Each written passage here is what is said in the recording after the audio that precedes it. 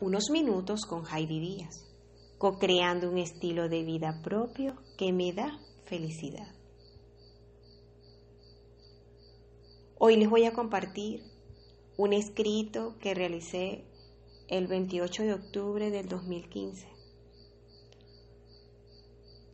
Y en el tiempo puedo confirmar que cada día que pasa toda la información que me llega y los conocimientos que he adquirido, pues están muy coherentes en la práctica y en el tiempo, porque puede pasar que en el tiempo, cuando hacemos nuestras reflexiones y nuestras revisiones, hagamos cambios Podemos cambiar nuestra manera de, ver las cosas, de percibirlas, de afrontarlas, de vivirlas. Y qué bonito es saber que tu vida lleva una coherencia en el tiempo y eso es lo que me lleva a mostrarles este escrito, a compartírselos y todo vino de una reflexión que realicé acerca de una imagen de internet que dice así, si cambias tus pensamientos, cambias tus emociones.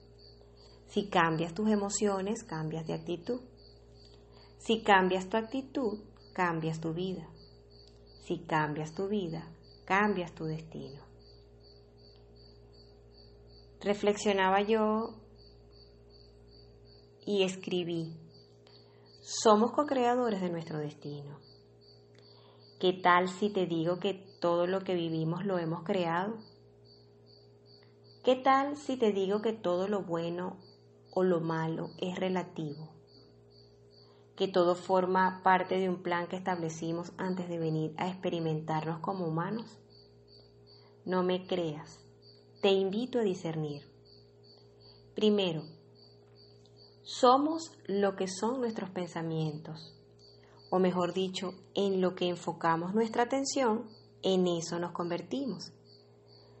Si constantemente estamos pensando en algo, estamos atrayendo al mundo de las formas ese algo. Tenemos que ser vigilantes de lo que pensamos para así poner la ley a funcionar a nuestro favor. La ley de la atracción, que es la ley del amor del poder del amor. El pensamiento no es más que el ego en su expresión, que en desarmonía nos aleja del ser, a vivir desde el yo fijo que soy.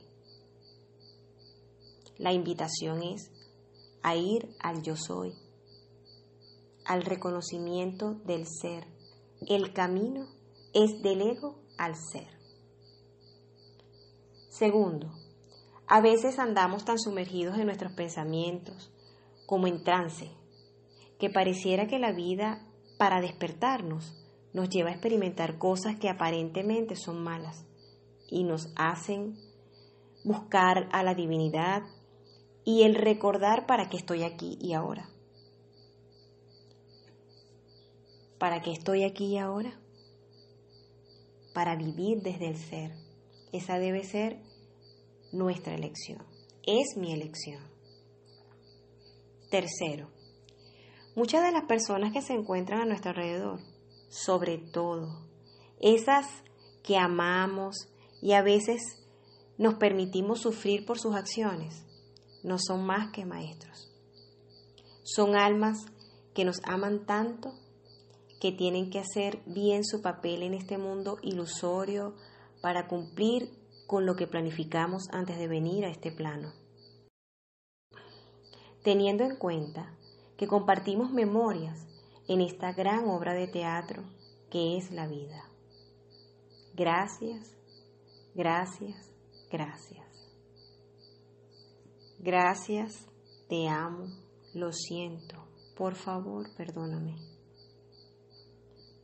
Que estés escuchando este audio y que lo compartas que le des like y que pertenezcas a los seguidores de este canal quiere decir que compartimos algo en común. Nada es casualidad.